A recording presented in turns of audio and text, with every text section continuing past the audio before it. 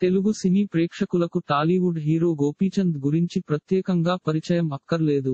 హీరోగా విలన్గా నటించి తనకంటూ ఒక ప్రత్యేకమైన గుర్తింపును ఏర్పరచుకున్నాడు గోపీచంద్. కాగా గోపీచంద్ జయం వర్షం సినిమాలలో విలన్గా నటించి మంచి గుర్తింపు తెచ్చుకున్న విషయానికి తెలిసిందే. యజ్ఞం ప్రణం లక్ష్యం సాహసం లౌక్యం లాంటి సినిమాలలో హీరోగా నటించాడు. అయితే ఈ సినిమాలన్నీ హీరో గోపీచంద్కి మంచిగా గుర్తింపును తెచ్చి పెట్టిన విషయానికి తెలిసిందే. ఈ సినిమాలలో ఒక సెంటిమెంట్ కూడా ఉంది. అదేమిటంటే టైటిల్స్ చివరలో సున్నా ఉండటం ఆ సెంటిమెంట్ బాగా కలిసి వచ్చి హీరోగా విలువ మంచిగా గుర్తింపు దక్కడంతో ఆ సెంటిమెంట్ను వదలను అంటున్నాడు గోపీచంద్. తన అపజయాలకు బ్రేక్ వేయాలంటే పాత దారినే నమ్ముకోవాలి అనుకుంటున్నాడు. ఇకపోతే శ్రీవాస్ దర్శకత్వంలో తెరకెక్కబోతున్న సినిమా రామబాణం. ఈ సినిమాలో గోపీచంద్ సరసన డింపుల్ హయతి హీరోయిన్గా నటించనుంది. ఈ సినిమా టైటిల్లో చివర్లో సున్నా ఉండడంతో పాత సెంటిమెంట్ని నమ్ముకోవాలి అనుకుంటున్నాడు గోపీచంద్. మరి గోపీచంద్ నమ్మకున్న విధంగా ఈ రామ బాణం సినిమా మంచి సక్సెస్ని తెచ్చి పెడుతుందో లేదో చూడాలి మరి. ఇకపోతే గోపీచంద్ నటించిన సినిమాలలో Ontari Wanted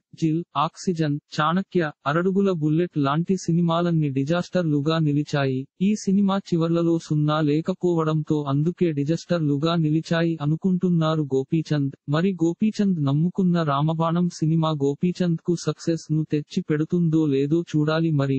గోపీచంద్ చివరగా సిటీ మార్ సినిమాతో ప్రేక్షకులను పలకరించిన విషయానికి తెలిసిందే ఈ సినిమా విడుదల అయి మంచి హిట్ టాక్ని సొంతం చేసుకుంది. ఇలాంటి మరిన్ని తెలుగు వార్త విశేషాలు కోసం ఛానల్కి సబ్స్క్రైబ్ చేసి గంట నొక్కడం మర్చిపోకండి. ఈ వీడియోని తోటి మిత్రులకి షేర్ చేయండి. మీ అభిప్రాయాన్ని కామెంట్లో తెలపండి.